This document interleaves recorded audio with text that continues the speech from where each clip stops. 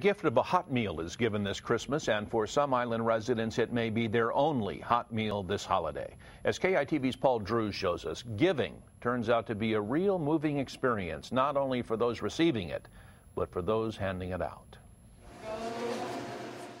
Elena Yu and her daughter Sarah are getting lunches ready to be delivered to elderly islanders and those who are disabled and can't cook for themselves. Bye. Bye.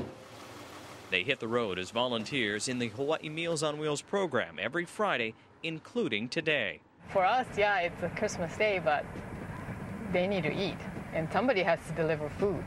Every day, more than 250 hot meals are made up and delivered each day. But this service offers something more than just something to eat.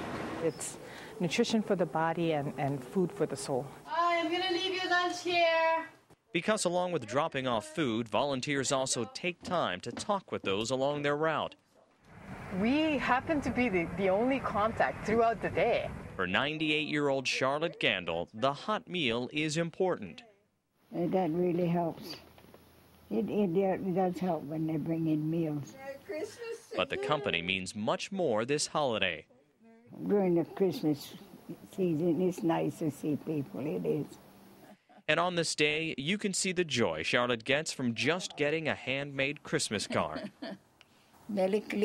and have a great day. This program benefits more than just seniors like Charlotte, though.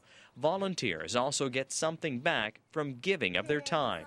When I just say have a good day at the end, I can see, you know, in their faces that they're they're very happy and that's the reward that I get. Thank you. I love it.